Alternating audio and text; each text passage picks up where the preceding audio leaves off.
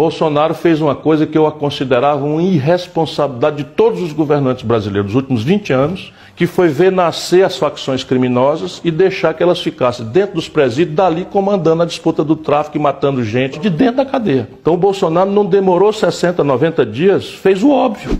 Mas ninguém fez, nem o Lula fez, nem a Dilma fez, nem o Fernando Henrique fez. Transferiu os chefes do PCC, do Comando Vermelho, dessas facções, para os presídios federais e cortou a rede de comunicação. E a gente for honesto, não foi o Bolsonaro que criou essa crise, foi o PT. Certo? Foi o Lula, num primeiro momento de forma muito bem intencionada, explodiu o crédito, tanto para as famílias quanto para as empresas, e na rebordosa, o país que está com uma crise de crédito, 63 milhões e 500 mil brasileiros com nome sujo no SPC, Sim. então viveram um momento de euforia e se preparam e não foi o Bolsonaro que produziu isso. E o empresariado é o maior nível de endividamento da história. Uai, seu app de vídeos curtos.